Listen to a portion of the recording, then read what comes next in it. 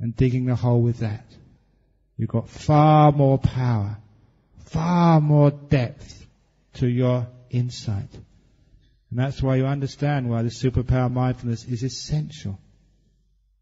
But it's not just superpower mindfulness to get wisdom. All your, your superpowers, even the psychic powers come from this. When your mind is that strong, you can start to see other beings. You can get these psychic powers, which are very interesting, but only when your mind is very, very still and powerful. And you feel that's possible because you know the energy of a mind which is being enhanced. So this is why mindfulness is very important. And to go back, the doer and the knower, the two halves of the mind.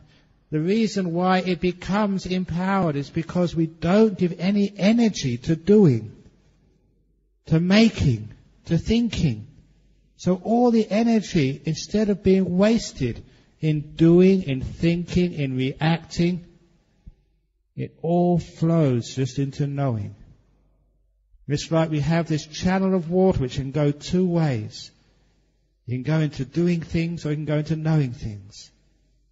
We do so much, we've got hardly energy left for being passive and to know. That's one of the reasons why people get depressed. Because they haven't got any energy left in just bare knowing. So what they know is just so dull, so grey, there's nothing which can actually enhance their happiness. If any of you have ever been to London in around this time of the year, December and January, you know how miserable it can be. I, first time I went back after a month, after seven years, I went back to visit my, my mother at this time of the year, because it was Christmas time. I decided to go and visit her then, in December. I couldn't have chosen a worse time of the year. Those who've been to London would recognize this description. In December, the skies are all grey. You can't see any blue sky at all. It's just clouds.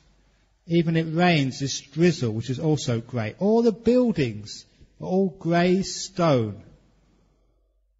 And the pavements and the roads is all grey as well. What clothes do people wear in England? Grey suits. It's all grey all over the place. And even worse, what tea do people in England drink Earl Grey. it's all grey. It's miserable.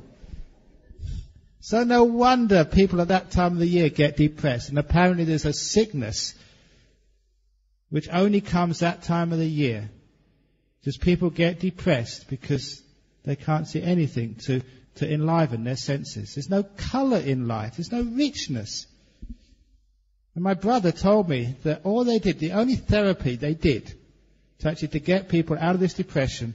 They took them into a room with very bright lights. They all wore these Hawaiian shirts with lots of colour and lots of sound, just to actually to get their senses awake again. And this is actually what happens that when we're depressed, we only see grey. Understand? There's no brightness in life. When you have a relationship with your husband or, your wife, you can't see any beauty in them anymore. You say the spark has gone out of our marriage. It's just it's ordinary. Your husband, your wife are the same as you started with, but your mindfulness has gone down.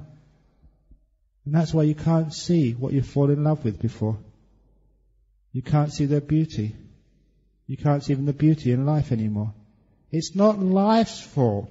It's not your husband's fault. It's not your wife. It's not your boyfriend or boyfriend, girl, uh, girlfriend's fault. It's your fault. Wake up. Develop powerful mindfulness. You'll be able to fall in love with your partner again. You'll be able to see their beauty. You'll be able to fall in love with life again. See life's richness. It's what happens. So this is what depression is. You get superpower mindfulness. You get more energy going into the knowing. So you know more. Knowing has got more energy. Because knowing has got more energy, it's turning the wattage up of your awareness. Whatever you see, you see more of. And when you see more of it, it's more happy. There's one thing I discovered through meditation. One of the powerful insights is energy is happiness. Mental energy is equivalent to joy. The more energy you have in the mind, the happier you are. That's one of the reasons I'm a happy monk. I've got lots of mental energy. That's why I can sit up here and talk to you for an hour and a half. Two hours? An hour? I don't know. Who cares? But that's why you get lots of energy when you're happy. So when the mindfulness receives all the energy, it becomes superpower mindfulness. Not only do you see deeply, but you see with happiness. Anyone who's miserable is not mindful. It's obvious to me. When you get really, really mindful, powerful mindful, you are happy. Energy is happiness. Mental energy. When the energy starts to flow into the mindfulness, that's when you start getting joyful in your meditation. You start to smile more. You become happy. And this meditation retreat really deserves its name. I've, for those of you who haven't heard this, this meditation retreat is not called Chempaka Lodge, was the end of the year retreat. This is called Club Med PJ. Club, Club Meditation Petaling Jaya. and it deserves the name Club Med because Club Med is a happy place. And this is a happy place you meditate. And if by the end of this retreat you're not a happier little yogi, then I have not done my job. That's why in my meditation retreats, you know they take group photographs during the retreat? When I do my meditation retreat, at the group photograph at the end, everyone looks miserable. Because, oh, we have to go home. Oh. you enjoying it. Because the energy goes into mindfulness, you become supercharged and you find whether you like it or not, you are happy. You're joyful. And that's an important part of the Buddhist path. The Buddhist path is all about ending suffering, not making more suffering. Ending suffering. So you can test your progress by how much happiness you have. If you're getting happier and happier in this meditation retreat, you're making progress on the path, you're ending suffering more and more. The more you end suffering, the more happy you are. It's obvious. That's why when I was a young Buddhist, I understood that enough to go and check out the monks. Any miserable monks I did have no faith in at all. Because if they knew the end of suffering, why are they so miserable? It's just like, you know, those advertisements. You know, when you buy the washing powder, it's supposed to make your clothes whiter. If you find out that you wash with that powder and it gets even dirtier, what good is that washing powder? So what good would Buddhism do if it makes you more miserable? So I was looking for the happy monks to see who understood the Dhamma. And I was very fortunate to see the happiest monk, actually the happiest person, still the happiest person I've ever seen, was my teacher Ajahn Chah. That's why you had faith in him. That's why you spent all those years eating, eating frog on rice and those other disgusting foods. Because there was a guy, I mean, that was really impressive. A guy who was happy, really happy. How come? Why? And then you found out why. So this power, this eightfold path, enhancing mindfulness, making it really strong, superpower mindfulness, and he was happy. Not only happy, but incredibly wise. He could see things which other people just couldn't see. Because his mindfulness was so sharp so empowered.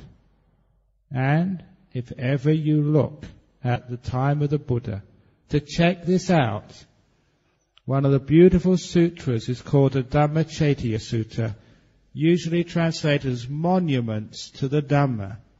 It tells the story of one of the important figures in the time of the Buddha, King uh, Pasenadi of Kosala, one of the Buddha's chief supporters who just before he passed away went to see the Buddha in the Jeta Grove Monastery, which was right next to the capital of Kosala, Savatthi. And when the king walked into the monastery, the first thing he's actually he just kissed the feet of the Buddha first of all. Just all the happiness and joy he'd got in life was because of this great teacher.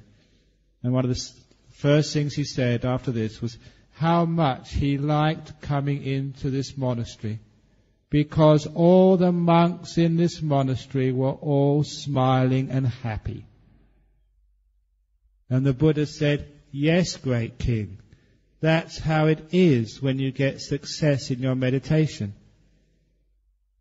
It's the Buddha's words. If your meditation is successful, you get happier. The smile gets wider, the eyes get brighter, as the mindfulness gets stronger, you get more power, and you're a happier little Buddhist. And that's by far the best way to teach Buddhism to your friends and loved ones. If you go and give them a Dharma book and say, read this, and you're miserable, they say, what's the point?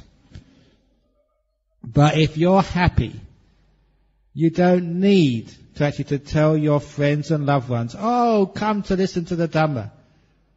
If you're happy, they say, where is it? I want to go. Take me. And that's true. Very, this, our vice president a year ago, she wrote a book about her life's journey. I was mentioned in her book because she went to see one of my talks and she saw this happy monk giving a Dhamma talk, she thought, ah, he's only putting this on. In public, he smiles, but probably he's like everybody else and gets miserable when he's not on stage. So she wrote this book. She went to check out the monks.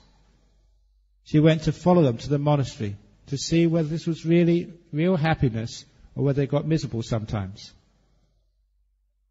If you want to check me out, ask Mangala, who's been looking after me the last couple of days. If I shouted at him and got miserable. or Amateur, his brother, who sometimes looks after me in the PTF. Ask people who've not just seen me on stage, but seen me when I first get up in the morning. And then you'll know if this is a happy monk or not. But she checked it out. She found out, yeah, it's real happiness. And she wrote in her book, I don't know what those monks were on, but I want some of it. and she became, and she became a Buddhist because of that. She saw happiness. Even some years ago, when I was visiting England, visiting my mother, there was one of the monks there. He was working in the prisons. He's doing a really good job. And he managed to convince the prison systems in UK to have what he called a Buddha Grove. What the Buddha Grove was, is actually in these open prisons with a bit of land around them, he managed to get some, I think mostly Thai supporters, to donate a Buddha statue, a big one. Some of the prisoners actually built a nice stand, planted trees around. It was a place of peace and quiet for the prisoners to reflect.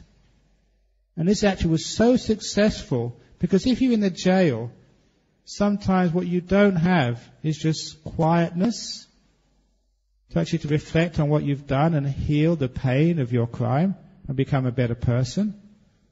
So they built these Buddha groves, and I think there's many of them, maybe 20 or 30 in the prisons in England now, all agreed to by the Home Office. Even though this is just, it's a Buddha statue, everyone realizes this is a place of peace, whether you're a Christian, a Hindu or Muslim, the prisoners go there to sit quietly and reflect. It's a Buddha grove. And of course you can imagine the good it does. That's why all the prison uh, superintendents all support this up to the hilt. You build it, we'll maintain it. But when the first one was established, I happened to be in UK. I was invited for the opening ceremony. Now, part of the opening ceremony, as many of you Buddhists know, I've been giving the speeches. I think we had the, the head of the prisons there, not the, not the Home Secretary, but I think the head of the prisons department in UK, the civil servant, and the, the governor and a few other dignitaries, MPs, they all gave their speeches. And then, of course, we did some chanting, and after the chanting, we did the circumambulation. You know what we do around like Buddha statues or stupas at Wesak Day. We go around with candles and incense, walking around three times. Now I was so inspired. I'm very easy to, to get inspired by really good things, wonderful things.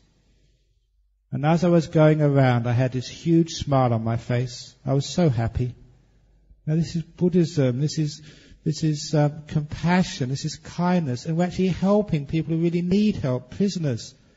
What a wonderful idea! What a beautiful thing this was to have a Buddha statue inside one of Her Majesty's prisons in UK. Oh, I was so happy.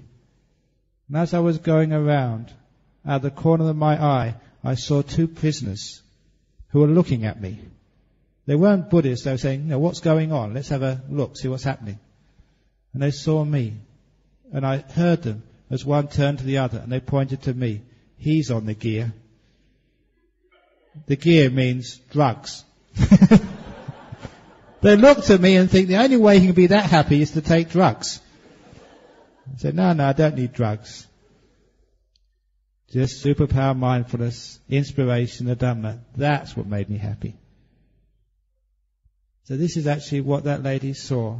She saw that type of happiness, which usually you only see on people who's high on drugs or alcohol, or who's high on wisdom, peace, and compassion, who's high on mindfulness. When you get that sort of happiness, please follow it. You don't get attached to that type of happiness. That is a happiness of freedom, of liberation. So the Buddha said, don't be afraid of those happinesses, indulging them. This is what's supposed to happen in your meditation. So when you get superpower mindfulness, you're going to be one happy little yogi. And that's good. Every retreat which I've taught, there's always one or two who really get happy. It's one of the greatest gifts you can give me as a teacher. Usually what happens, they come and interview, but sometimes they can't wait for an interview. They're waiting on the path when I go back to my room. And they look at me and said, Ajahn Brahm, I've done it. and it's so sweet. And the tears are coming out of their eyes. The more happiness than they've ever experienced before. Superpower mindfulness brings you so much happiness and joy. And that's called empowering your mind. It's part of the path. There's other things as well, but that is what I'm emphasizing today. So mindfulness is for your life, for your happiness, for your success, and even for your enlightenment. So thank you for listening. Okay, now any questions about mindfulness and superpower mindfulness?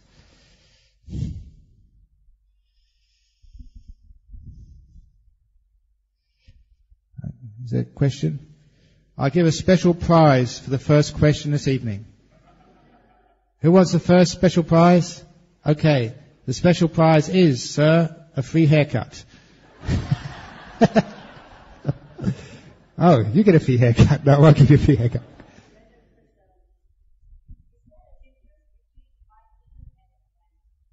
Is there a difference between mindfulness and awareness? No, there's not.